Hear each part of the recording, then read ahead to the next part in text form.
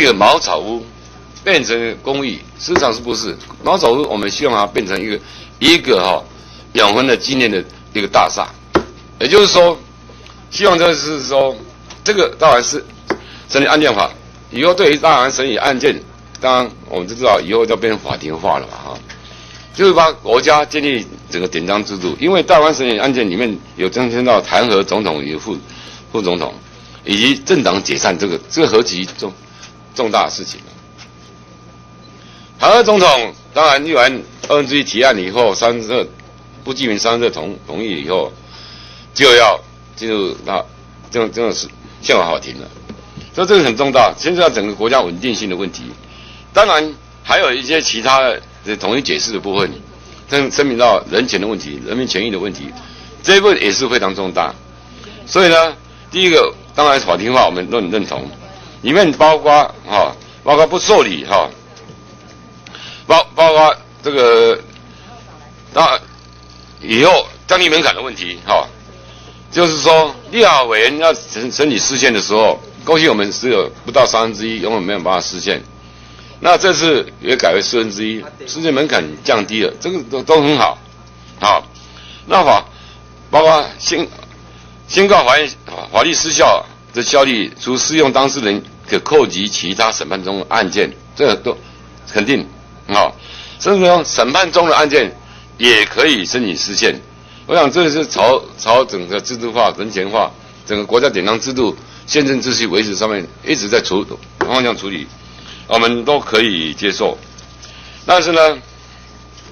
我们希望就是说，这里面有几个部分核心事项，也就。本期手机的版本里面，我发现很不幸的，是发现全部反对，全反对。那这当然，这个这个是一个很大的一个核心事项，在此事实上，在这个地方。第一个，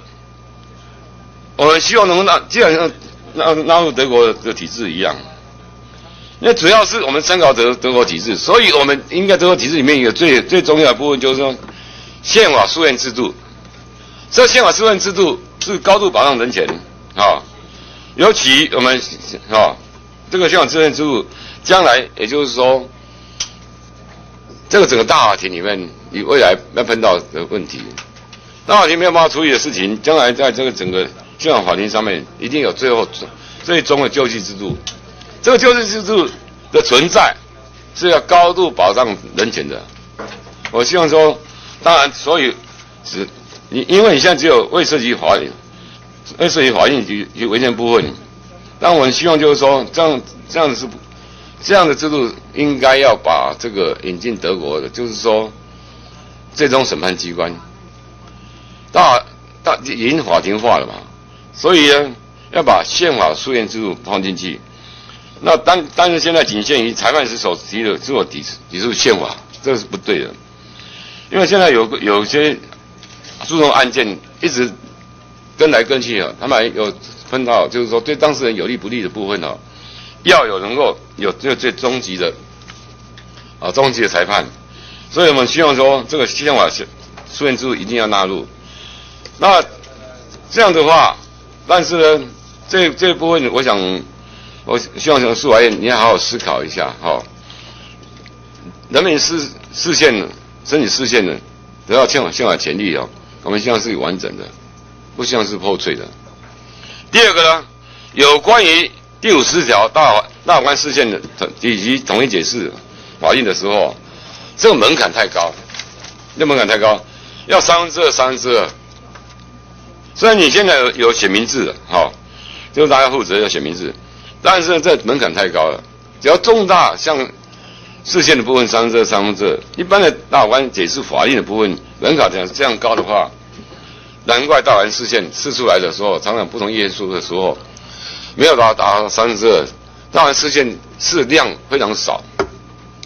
啊，是量非常少的是说，相对人民的权益以及宪法保障上的权益是受到压缩的。啊，所以呢，这应该把门槛要降低，不同层次的问题门槛要不同门槛，这是第二点。第三点说，有关大环审理案件的时候，是不可延迟辩论。当然，当然，我们主张是要要延延迟辩论。这几项我认为哈，这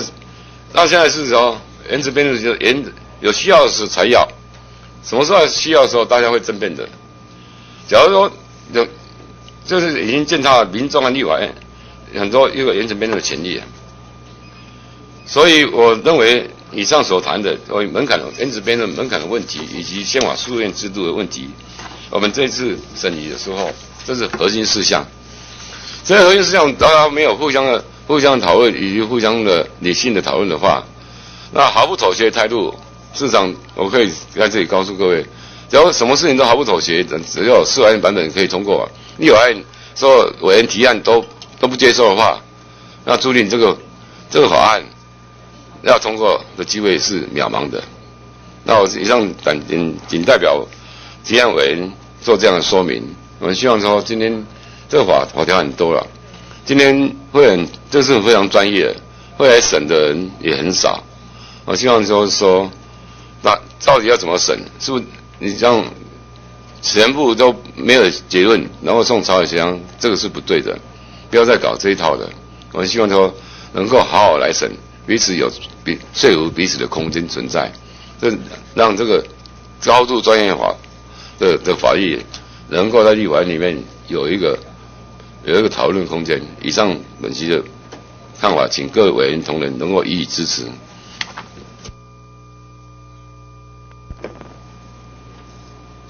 啊，接下来请吕学章委员做提案说明。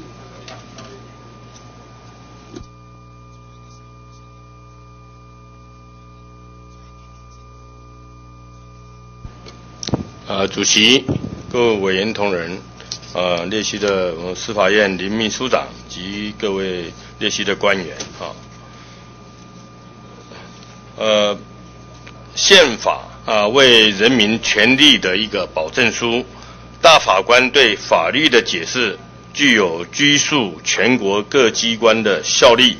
是人民权利最后的防线，也是最后，呃，也是一个救济管道。更是解决宪政上歧义纷争的重要指标。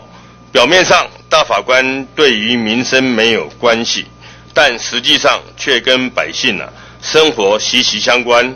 尤其牵涉到个人的权利义务上的各项争议，在法律上有旗舰，在救济管道上有挚爱难行之时，最后都要回归到宪法上的精神跟保障。然而，现行的司法院大法官审理案件法是民国八十二年因应第二次修宪而修正公布施行，迄今，啊，